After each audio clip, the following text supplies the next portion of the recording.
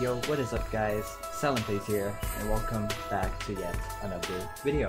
So for today's video, we'll be taking a look at the brand new teaser that they've released for the Christmas update coming to Kaiju Universe. So let's take a look.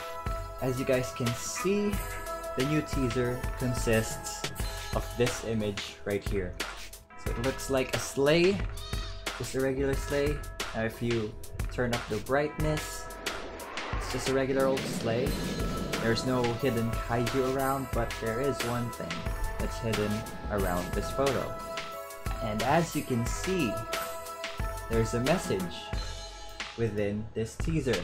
So let's let's let's read this. So he'll come bearing gifts for all. So what does that mean? Does that mean we're getting a Santa Claus kaiju? Now we do have now we do already have a Kamado skin.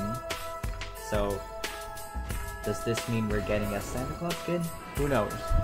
If you guys have any guesses, leave a comment down below on what kaiju might get the Santa Claus skin. I'm guessing Kong or Jet Jaguar, but Jet Jaguar already has a Nutcracker skin, so I'm guessing Kong maybe, since he's the only humanoid type kaiju left. So who knows, maybe Godzilla. But anyways guys, that'll be it for this video. If you guys enjoyed, make sure to leave a like and subscribe. And with that, that'll be it, and I will see you all in the next one. Take care.